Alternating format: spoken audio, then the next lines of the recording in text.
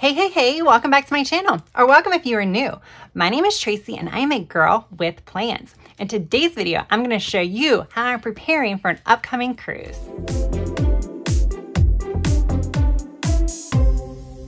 All right, you guys, so I am currently like working on like a travel planning series. This is, I guess, I don't know whether to call it my second or third video in that series. So I had previously filmed a video where I showed you how I was using a Happy Planner notebook to create a travel memory keeping book. And in that book, I kind of listed all the places I've been ever. Um, I have kind of started expanding that now and I've moved that from a Happy Planner notebook to an actual Archer and Olive notebook.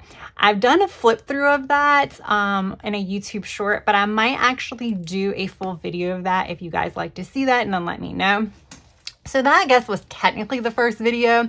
The second video was a video of if you know that you want to take a vacation, but you're still trying to like pinpoint where you want to go, I just kind of gave some ideas on how to get that brainstorm going as far as budgeting, things you have to consider, and things like that. And then I created a few fun pages. So it was kind of more of a plan with me type thing or a create with me type thing. So I have that one as well, and I will be sure to link all of those videos down below. So like I said in the intro, this is actually gonna be a video where I'm showing you how I am preparing for a cruise that I just booked that I'm actually gonna be taking in a few months. So I've already created all the pages, so I'm just gonna be doing a flip through of it. Um, hopefully it won't take as long, but I can be chatty, so no promises. all right, um, let's go ahead and get started with this video. So this book, um, I actually used the cover. There are some pages from this book, but this was an actual memory keeping book that came with a Be Happy box that I purchased from Happy Planner. Um, I don't know the name of it. I think it might have had adventure in the title, might have travel in the title. I will link it down below so you don't have to worry about finding it um, by the name. And that is an affiliate link. So all of my Happy Planner links that I do link in the description are affiliate links. I receive a tiny, tiny commission on anything that you purchase from that link. So I greatly appreciate it if you did use it. But yeah, this was part of that Be Happy box that I held strong for a long time. And then I finally caved and purchased it because it came with like all kinds of fun stuff, including a sticker book. And I'm glad I did because I really like this cover. And just so you guys know, it came with these types of pages. So this is a true memory keeping type page where you can put pictures and stuff like that. And I do plan to use these pages um, somewhat. We'll find out what I'm actually going to use them for because like I said, I am now using an Archer and Olive notebook for my actual travel memory keeping book. So we will see. Let me flip to my travel planning section, which is this one. Okay, had to make sure I was in frame because I am so bad about that, guys. I need to like mark off on the areas. All right, so I created this divider. This was like the first thing I did once I found out I was going to Italy. Um, this divider I created, I do have a short that I will link down below where I kind of showed you quickly how I did this, but I purchased this Rong Rong Wanderlust calendar. It was on clearance and I purchased it specifically for the artwork. I'm not I don't use wall calendars. I just thought the artwork was gorgeous. And I am planning on using the artwork whenever I book a trip to create a divider. Um, yes, I have some high aspirations. but I was so happy that I was able to use this one because this is Italy. You see she has pizza, pasta, and amore. So yeah, um, all I did was I put this here. I taped a scrapbook page. This is a, I have a whole bunch of map scrapbook paper. This actually was one of Italy. I just taped this to the back, um, cut it down to size, and then ran it through the laminator. And voila, there you have it. So therefore, I know this is gonna be all of my Italian cruise planning. all right. All of the paper that I'm using here is gonna be from the Happy Planner, and if it is still available, I will link it down in the description box below. So I have a whole bunch of these expense tracker half sheets, and I plan to use this to actually jot down all of my expenses, my pre-cruise expenses. So anything that I book pre-cruise, and if I book it pre-cruise, I'm likely gonna be paying it pre-cruise. Um, I'm not going to be adding I'm not going to be doing this post cruise. So this is only going to be pre cruise. My goal is to pay off everything that is pre cruise before I go. So my credit card has a zero balance and therefore I can see how much I actually spend on my cruise. and for those of you that have cruised before, you also know that there are expenses that you incur for the cruise while you're on the cruise, like gratuities and things like that are automatically added, but you're not charged for that until the end of your cruise. So things like that, I'm still gonna have cruise related expenses that are not going to be counted for until the end of my trip. But that's beside the point. Um, this is an actual Happy Planner Fitness half sheets. Um, I will also link this down below.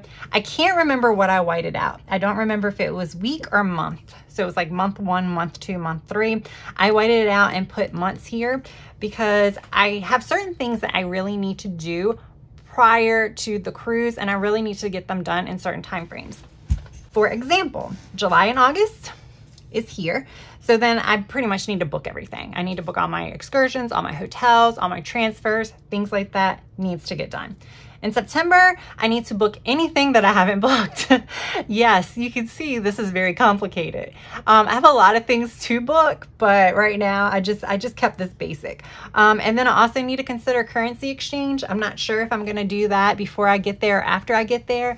I do have an ATM card that will allow me to use ATMs in other countries and they will reimburse me some of those expenses, not all of them, but most of the expenses. So it's not very costly to do that, but I intended to do that on a previous trip when I went to South America and the ATM machine did not have an English option. And I was like, oh no, I don't know what I'm doing. So I got, I freaked out and canceled it. I'm thinking in Italy, there may be like an English and Italian option. Um, but I don't know if I want to rely on that. So we'll see. If you have any like suggestions about whether or not I should get my currency beforehand. I don't need a lot. I pretty much only need it for, I would say, tips and stuff like that. Um, then let me know if I should just wait and exchange it there. And then finally, the month of, I pretty much just need to confirm my hotel bookings. I just want to make sure they have record of me because I will be booking it online. And sometimes you book it and you think everything's fine and well, and then you get there and they can't find your reservation. So I just want to kind of call or either email and get that written or verbal confirmation that they have me in their system, print out all confirmations, and then, you know, schedule my hair and nail appointment because I got to look all fresh for all the photos I'm going to be taking, right? It's the only time I literally take photos of myself is when I'm on vacation. all right. this next page is a brain dump page. This, unfortunately, this paper, which is my absolute favorite filler paper from Happy Planner, and it is not neutral and I'm such a neutral girl because I like to decorate but this paper is so perfect because of how it's divided and I don't need to decorate it because it's so pretty. Um, however, if you use big, if you use the Happy Planner big size or the Happy Planner mini, the mini is a little bit different um, as far as the layout of this page, but they do have this paper available in those sizes. I will link it down below just in case you have one of those planners because I love this paper. It is so pretty. Um, and like I said, it was so great to divide it. So basically I need to brainstorm hotels, restaurants, and transfers. That's simple for what it is for both where I'm flying into, Venice, because we're flying in a day early, and then where we're flying out of is Barcelona, because we're flying out the day after our cruise docks. So we are spending an extra day in each place. And I just kind of, you know, I've been, I I started looking at some like Facebook groups and some message boards, but I plan to kind of dig into that further and jot down any suggestions I find on there. And if you guys have any suggestions, please let me know and then I will add them here as well. And what I plan to do is with these suggestions, I'll dig into it further to see what options are the best fit for me and my best friend. Okay, this page is actually my excursion planning page. Again, I use the same paper. See how pretty it is? And um, yeah, because there's like, you know, four blocks here, four blocks there. I have seven destinations I'm seeing, so this worked out perfectly. All I'm doing here, this is another brainstorming page, but I have this arranged by our actual stops. So the ports that we are visiting. And all I wanted to do was write down the places that I read that I should try to see. So I'm writing them all down realistically, I'm not going to be able to do or see all of the places that I'm writing down. A perfect example is Rome. So the Colosseum and the Vatican, those are two places that if you want to see them, you pretty much need to do a tour where you only visit the outside of both places. If you want to see the inside, you probably going to have to do either or if you're doing a shore excursion, just because it takes so long to get from the actual cruise port to these cities. Um, I hear that it's a couple of hours, but traffic could actually impact that. So, you know, I kind of jotted down the things that we would like to see. I need to add a couple more to Rome. And then what, what I'm going to do is me and my best friend are going to get together and we're going to kind of talk about some things that we would like to do. And once we kind of narrow that down, then we're going to get to booking because when it comes to excursions, I don't want to look at the prices first and book my excursion based on the price because then I feel like I might be cheating myself out of seeing something I really want to see, if that makes sense. I'm a very frugal traveler, but I don't know when I'm going to make it here again. So I really want to see the things I want to see. So I think the first thing we're going to do is narrow down what we want to see like our must-sees and then things that we would like to see maybe and then things we really don't care about and then I will like start getting in on the excursions and we're not going to have tons of options um, just because our time is limited. and I don't know, when I say this, we might, I think we're going to be primarily booking excursions on our own and not through the cruise ships. And we're not going to do private, but we're going to try to do small groups. I don't know that that really matters to you guys, but that's just my personal preference. And I just figured I would add it. Okay. Now we're getting to the fun stuff, the packing list. This is where I got all like, you know, became my decorative self. Um, but before we get to that, I added this half sheet here as just a reminder. I literally wrote to buy so I can remember. Yeah, sometimes my memory has like literally been like off the chain. Like I just can't remember anything. So I wanted to add this here so that way as I'm writing my packing list and there's things that I need to buy, for example, prime example, I have big power banks. They're like the larger ones, but I want a mini power bank. Um, I'm not going to write that here because um, I'm filming this actually on Prime Day. so I'm probably going to order that today but I just want like a little mini one so that way I can try. It's easier to, for me to carry when I travel um, because it's not as big and bulky. So like that is something I would add here. I'm to try not to have to buy any new clothes, any new shoes or anything like that. This is just to be like travel essentials, not clothing. All right, packing list. This is the fun one. Um, so what I did here is I use an old outdated Happy Planner ver Classic Vertical Planner for my packing list. And you will see why when I flip the page. But I want to show you this page first. So these stickers, except for the boxes, came from Caliva Plans Travel Basic sticker book. Love this sticker book. I have used a lot of it. Even this title came from that sticker book. So um, I just kind of wanted to decorate it up. These boxes came from Mojo Jojo um, rainbow boxes. I have like pretty much her whole collection now. but this is going to be, this first page is gonna primarily be my carry-on. So stuff that I'm gonna put in my carry-on because these are my essential essentials. These are things that a lot of this stuff you can pick up, like my electronics and other essentials. This stuff you can't. But um, this is stuff that I feel like I need to function. like I need a phone charger, right? And a camera cord, right? So yeah, um, so this is like all my travel documents. So passport, insurance card, travel insurance documents, all my confirmations and stuff like that. Again, this is all my electronics. I had to write like a converter slash adapter because we are going to another country. My other essentials are like jacket, umbrella, sunglasses. Again, this is all stuff that is going on my carry-on that I want to kind of have with me in case I need it when I get off the plane type thing. And this is why I decided to go with the vertical instead of no pages. All right, so for people who want to know where I got the stickers from, these stickers and then these stickers and stuff like that came from this book. Again, this is Happy Planners Travel Book. I will link this down in the description as well. I have two of those. I love them. They're, this is a very functional book. They do have some decorative stickers, but it's primarily function. Obviously, it has some decorative. And then all of these came from the Agenda 52 Girls book. I'm not sure if that's still available. That's a Hobby Lobby brand. Um, but it was one of those books that was heavily discounted earlier this year. So I'm assuming it's an old book that they tried to get rid of. So you might not have luck finding it, but maybe they create like a new one, like a version two.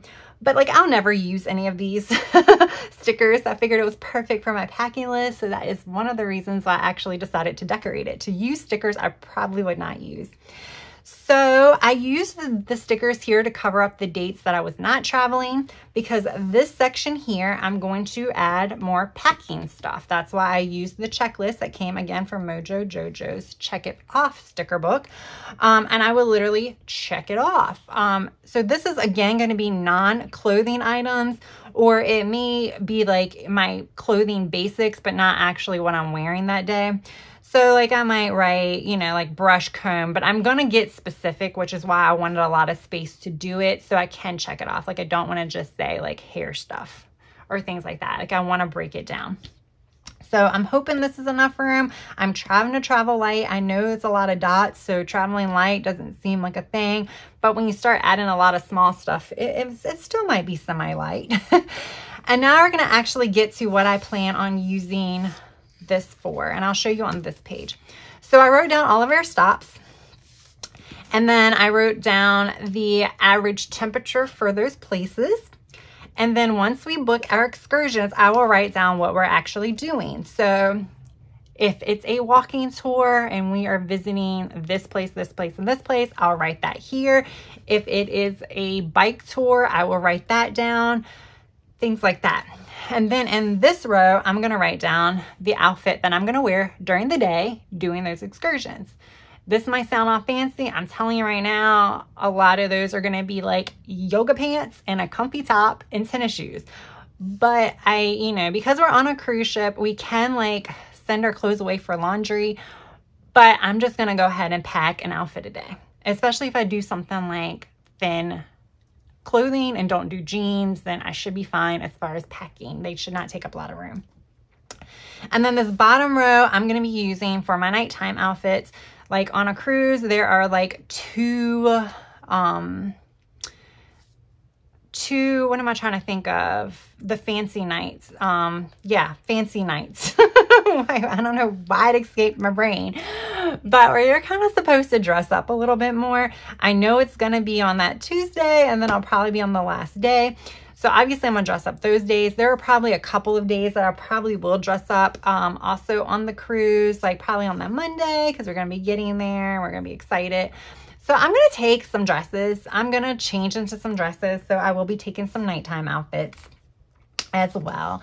And then when I'm in Venice and Spain, I will probably change into outfits because we're going to be out and about. Even though it's like the weather's not like the summer, I'm sure I'm want to shower and before I go to dinner and then I want to change clothes. Too much information, but yes, I'm trying to justify why I'm packing so many outfits and why I need to use this Happy Planner Classic Vertical. Okay. but no, I'm excited to use this and I'm really glad I did it off camera because I had planned on doing this and I had done all this probably like last week, like right after I had booked my trip. And then I just did this like the other day. So it did take, you know, I decided to do this. I was like, oh, you know what? I, I should use this for my other packing list that isn't going to be day by day. And I was like, that's a great, you know, great idea because I'm going to be doing, like I said, my travel planning and another planner. This isn't, this is just packing. So yeah. And that's pretty much it. I added some half sheets and then this sheet was just what we, what I created to brainstorm a budget prior to booking. Um, we didn't have very much time because it was a really, really good price.